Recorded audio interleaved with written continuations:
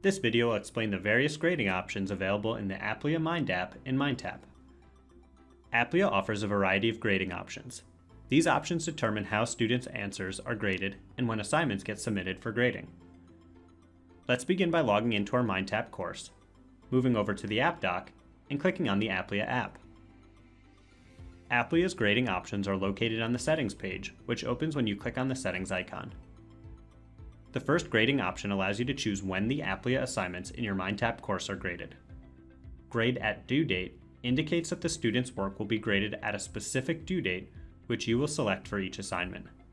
Students will get their score as well as answers and explanations to the questions only after the due date passes. Grade upon submission, on the other hand, allows students to work on the course in their own pace and submit assignments for grading as they complete them.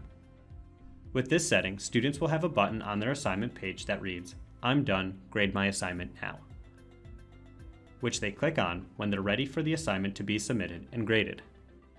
Please note, whatever grading setting you select, it will apply to all Aplia assignments in your MindTap course. The scoring method applies to Grade It Now questions only.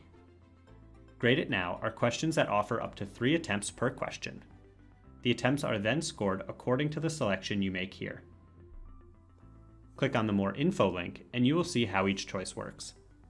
Average takes the average score of all attempts.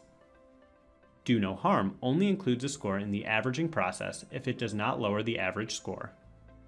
And Keep the Highest takes the highest score out of all attempts.